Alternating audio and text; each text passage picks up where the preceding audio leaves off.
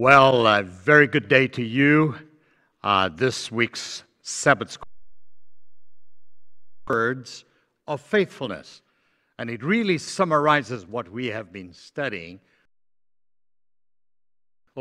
Even though we can never earn salvation, the Bible uses the hope of reward as a motivation for faithful living.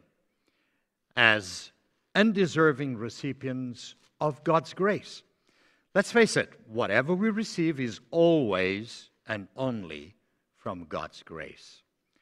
In various places in Scripture, the Bible tells about rewards, what we are promised and assured to receive through Christ after his second coming.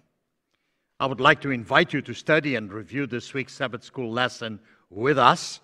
You may join us on Sabbath morning in our Sabbath school class, or you may join us online. I really encourage you to do so.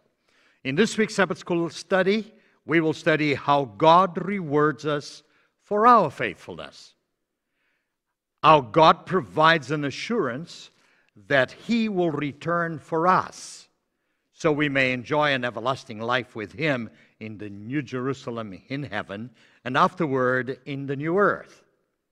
We will study how we should focus on what God has entrusted to us and how we can use it for His glory. And finally, how we should keep our eyes fixed on the final prize, the ultimate reward, a crown of righteousness and eternal life. Come join us. Would love to see you there. God bless.